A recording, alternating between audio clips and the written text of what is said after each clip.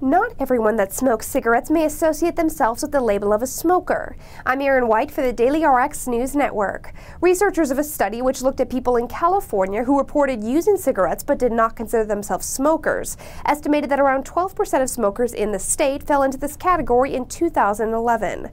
According to the study authors, as the stigma of smoking grows, people who smoke might be less likely or willing to identify with being labeled a smoker. Ask your doctor for help quitting smoking. To keep up to date with all the latest health news, visit dailyrx.com. For the dailyRx News Network, I'm Erin White.